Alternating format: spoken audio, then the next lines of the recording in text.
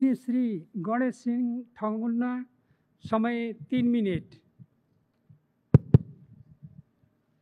सम्मानीय सभामुख महोदय सम्मानीय राष्ट्रपति महोदयले संसदको संयुक्त सदनमा प्रस्तुत आगामी आब दुई हजार सतहत्तर अठहत्तरको सरकारको नीति र कार्यक्रम कोभिड उन्नाइससँग जुझ्न नेपाल सरकारको विशेष प्राथमिकता यसबाट सिर्जित समस्याहरूलाई समाधान गर्न समग्र क्षेत्रमा गर्नुपर्ने कार्यहरू लगायत कृषि क्षेत्रमा उत्पादन वृद्धि गर्दै रोजगारी सिर्जना गर्ने सुखी नेपाली समृद्ध नेपाल अभियानलाई द्रुत गतिमा अगाडि बढाउने गरी समग्र क्षेत्रलाई सम्बोधन गर्ने गरी आएको छ। सीमा सुरक्षा लगायत लिम्पियाधुरा लिपुलेक र कालापानीमा भएको भारतीय अतिक्रमण हटाउन पहल गर्ने र सो भूभाग समेटेर नेपालको नक्सा जारी गर्ने ऐतिहासिक नीति अगाडि सारिएको छ। यो नीति र कार्यक्रमको पूर्ण रूपमा समर्थन गर्दै यो नीति तथा कार्यक्रमलाई प्रभावकारी कार्यान्वयन गर्न आगामी बजेटमा देह बमोजिमका कार्यक्रमहरूमा विशेष ध्यान दिन सुझाव दिन चाहन्छु। एक अतिक्रमित भूमि फिर्ता लिनको लागि आवश्यक कूटनीतिक पहल जारी राख्दै थप अतिक्रमण रोक्न सो क्षेत्रमा नेपाली सेनाको समेत उपस्थिति गराउने र सो क्षेत्रका जनताहरूको आधारभूत आवश्यकता पुरा गर्न र पूर्वाधार निर्माणमा विशेष कार्यक्रम सञ्चालन गर्नुपर्दछ।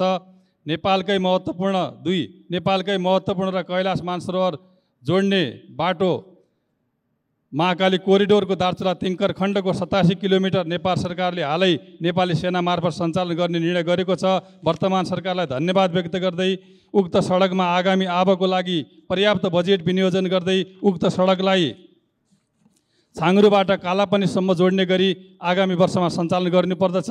तिन चालु आबको बजेटमा समावेश। दार्चुला जिल्लाको गोकुलेश्वर एयरपोर्टको डिपिआर निर्माण सम्पन्न भएको छ। आगामी आबमा निर्माण कार्य सञ्चालन गर्नको लागि पर्याप्त बजेटको सुनिश्चित गरिनुपर्दछ। तिन चार नीति तथा कार्यक्रमले रोजगारी सिर्जनालाई प्राथमिकतामा राखेको छ।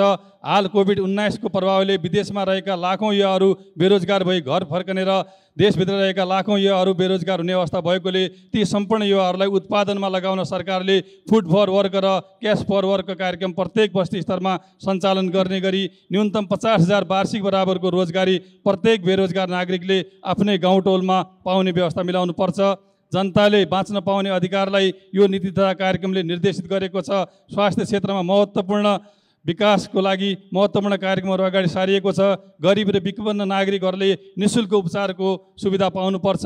खास गरेर मुटु रोग ब्रेन किडनी लिभर लगायतका क्यान्सर लगायतका बिमारीहरूमा गरिब र विपन्न परिवारलाई नि शुल्क उपचारको आवश्यक व्यवस्था गरिनुपर्छ। धन्यवाद।